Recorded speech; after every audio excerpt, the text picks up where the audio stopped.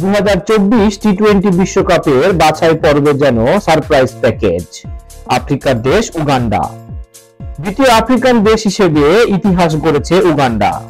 Africa অঞ্চলের বিশ্বকাপ বাছাইয়ে রুয়ান্ডাকে নয় উইকেটে হারিয়ে টি টোয়েন্টি বিশ্বকাপের মূল পর্বের খেলার যোগ্যতা অর্জন করেছে দেশটি।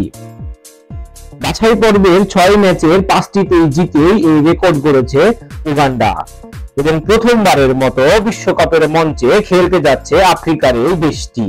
টি টোয়েন্টি বিশ্বকাপ দু হাজার চব্বিশ, ওয়েস্ট ইন্ডিজ ও যুক্তরাষ্ট্রের আসরে অংশ নেবে বিশ দল। বিশ দলের জায়গা নিশ্চিত হয়ে গেল আজকে। স্বাগতিক হিসেবে খেলবে ওয়েস্ট ইন্ডিজ ও যুক্তরাষ্ট্র।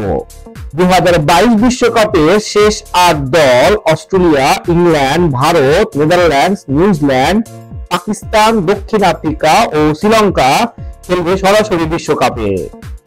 র্যাঙ্কিং এর ভিত্তিতে আফগানিস্তান ও বাংলাদেশ জায়গা পায় মূল আসরে। ইউরোপিয়ান অঞ্চলের বাছাই পেরিয়ে আয়ারল্যান্ড ও স্কটল্যান্ড এসেছে।